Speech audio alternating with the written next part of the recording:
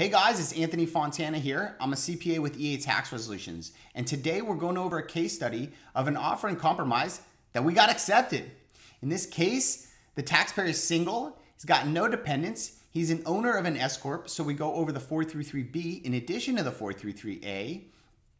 He qualifies for the low income certificate, so he didn't have to pay the down payment with the offer, or he didn't have to pay the $205 application fee. And this is a periodic payment offer. We didn't do the normal lump sum offer. We're gonna be going over all the forms that we filed, all the letters we got from the IRS, and our objections to those. So if you're looking to learn a little bit more about this IRS offer and compromise, stay tuned. All right, so we're jumping right in here. Uh, these are the forms that we actually did file. This is the 433. That's where we're going to start with. Uh, we're going to go over everything that uh, we filed for him here, okay? So section one, 433, it's pretty basic. I'm not gonna go over that. It's all personal information. I think it's pretty self-explanatory there. Uh, section two here, he's an S Corp owner. So as an S Corp, the IRS mandates that you pay yourself a salary, which means you gotta get on a W-2 and write yourself a paycheck.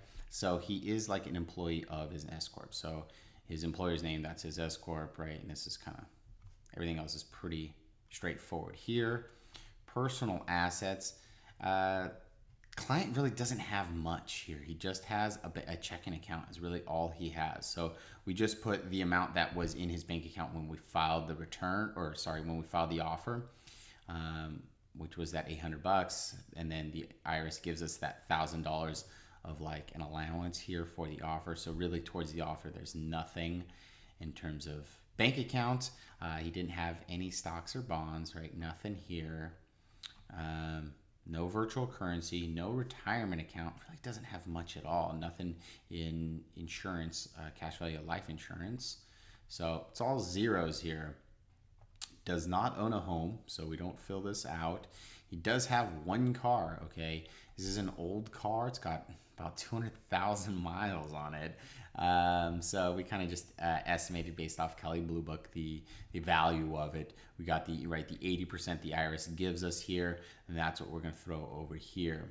Now they also give us this other allowance of the 3,400 bucks. So the 2,000 minus, there's nothing left over in terms of value for this offer here. So um, let's see here. Doesn't have any collectible valuable items, nothing here. So towards the offer assets, there's nothing, okay? Uh, we don't fill out the self-employed because uh, technically he is self-employed, but in terms of the IRS, he's an S corporation. So we do not fill out, he's not a sole proprietor. That's why. Okay, so we don't fill that part out. Um, and the business assets, again, this is for self-employed. Uh, we'll go over this part in the 433B because we had to fill that out because he is an S corp. Okay, so didn't fill this out, nothing there. It was all zeros, nothing for the business. Um, and then we have, let's see here, nope, not self-employed, so we didn't fill this out. Uh, he's got a salary from the business, right? The 1500 bucks, and that's what we're throwing in there.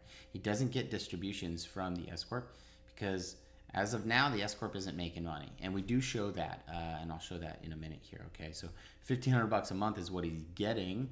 Um, and then the meat and potatoes of the offers right here, the monthly house, household expenses. So we're taking the standard here for where he's at and what he's paying currently in rent and utilities.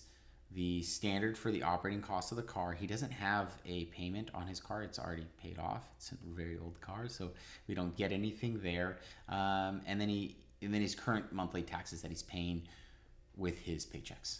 That's really all he's getting. So the you know twenty two hundred bucks is a lot more than what he's actually making. He's in he's underwater currently. Like he's living off of credit here. He's not doing too hot. So no monthly income, no assets, right? Right here, the calculate the offer, it would be zero the offer, right? So because he's got nothing. So in this section, we're just writing zeros, okay?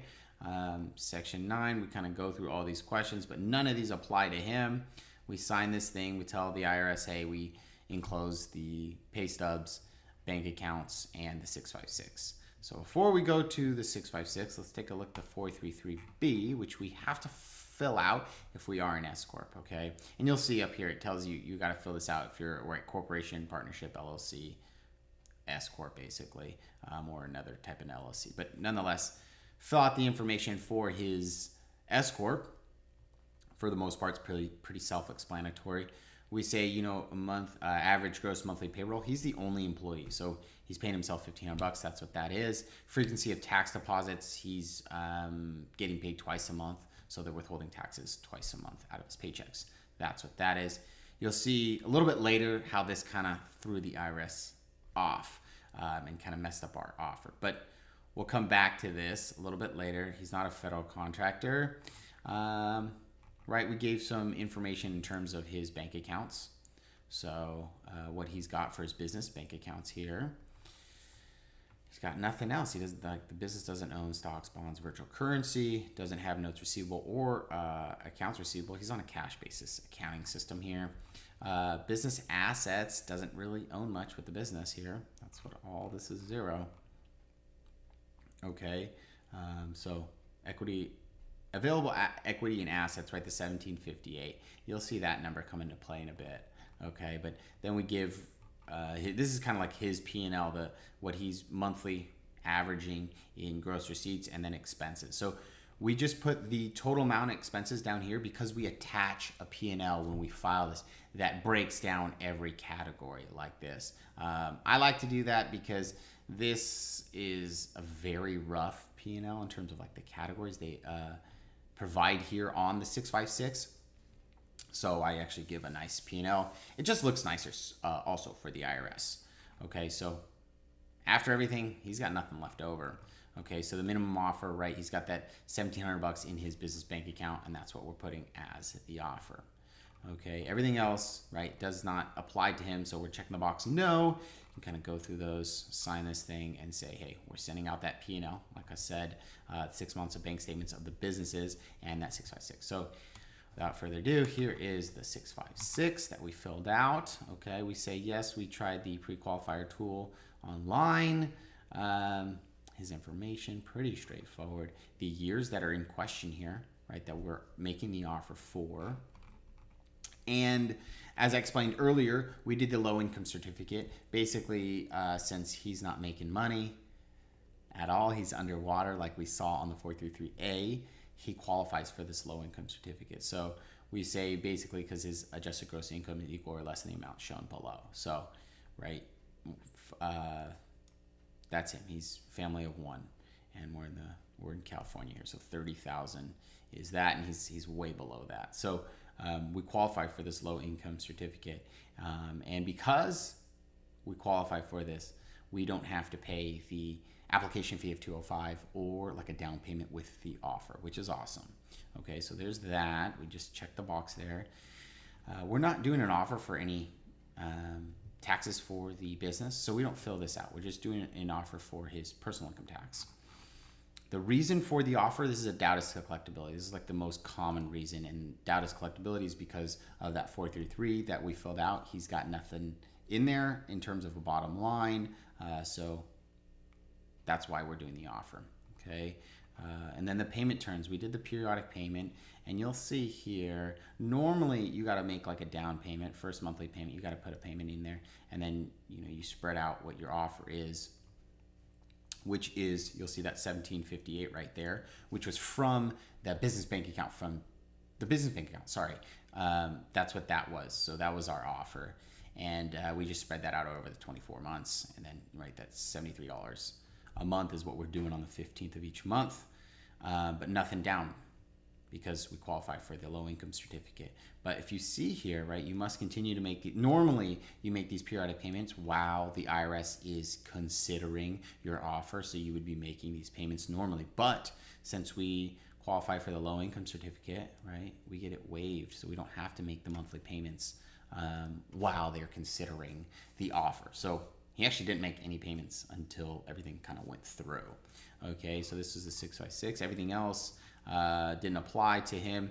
The reason, let's see here, right? Doubt its collectability. So the IRS is saying, if we're in, in, unable to collect from you, how are you going to make this payment uh, that you're offering? And what we say is he's going to get it from friends and family. It's a loan, so he's going to have to pay them back if we get this accepted.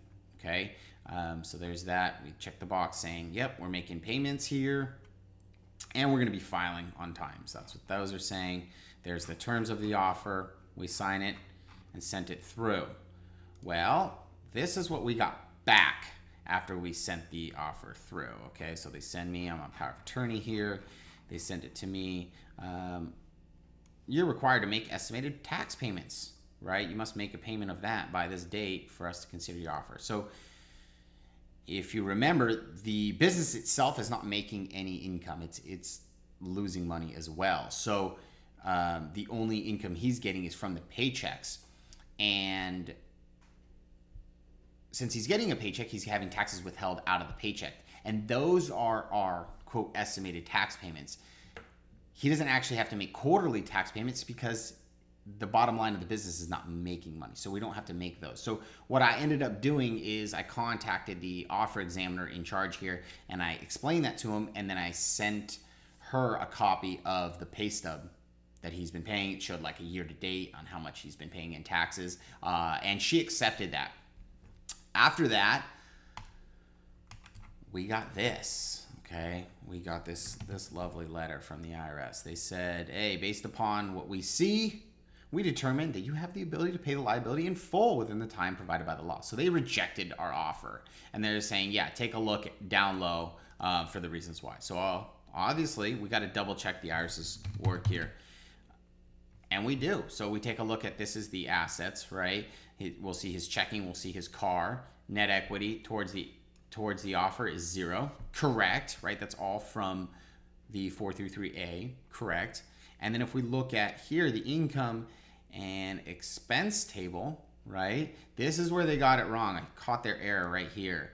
Uh, so we know 1500 bucks is what he's making monthly, but they're saying, oh, the IRS says he makes 3000. I'm like, no, that's not right. And she's like, the offer examiner pointed here that look at, well, he's getting paid twice a month. You put it on the 433B.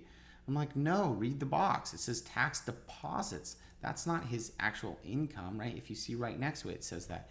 And she was like, oh, okay. And then she ended up making the. Sorry, the camera got cut out there. Uh, what I was saying is that the the off the IRS did end up making the adjustment for fifteen hundred bucks instead of the three thousand uh, that we see here. But nonetheless, we can learn a lot from this table here that the IRS gave us. You'll see the expenses that we claimed here. They did change a little bit, right? The net allowed amount, uh, and the reason for that is the standards changed for the food and the operating. Let's see here of the car, right? They just changed a little bit.